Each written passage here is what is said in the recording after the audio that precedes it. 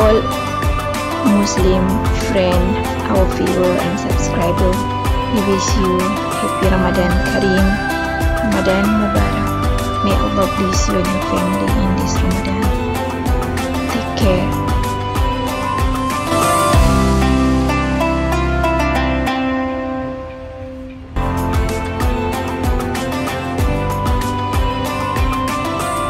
Thanks for watching.